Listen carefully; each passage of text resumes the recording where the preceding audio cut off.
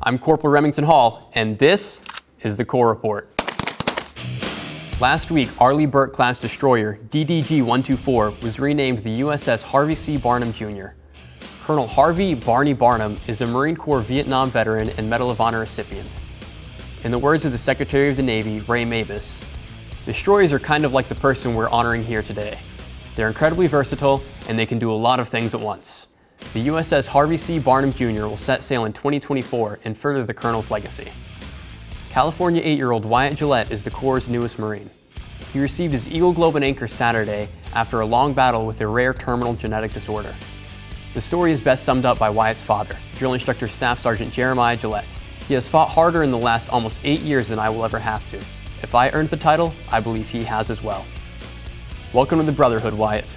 The Commandant of the Marine Corps General Robert Neller has designated 3rd Battalion 5th Marines, Dark Horse, as the Marine Corps' experimental force. Currently at 29 Palms, Dark Horse is participating in the MAGTF integrated experiment. The Corps Report's very own Lance Corporal Molly Hampton is on the ground with more. Hey everyone, I'm Lance Corporal Molly Hampton and I'm here at the Combat Center in 29 Palms for the MAGTF Integrated Experiment.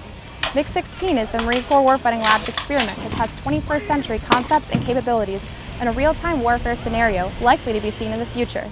Today we have Sergeant Kevin Peach, a squad leader with 3-5, here to tell us why MIX-16 is different than any other training. Take it away, Sergeant. Uh, so the MIX-16 is probably the most realistic thing you're going to get to combat. Um, it's 120 degrees out here, we're sweating our asses off, and we're kicking indoors and doing what grunts do. Uh, on top of all that, we're actually getting all the technology. Uh, the drones, the, the, all the vehicles that shoot robots, it, it's incredible. Uh, now, given as a squad leader, uh, you're given all that all that stuff and saying, "Here, go to work." So it, it's a good time. Thank you for sharing with us, Sergeant. Stand by this week for more coverage on Mix 16. For more on these stories, see the video description or visit our official social media sites. Thanks for watching, everyone. We'll see you next time right here on the Corps Report.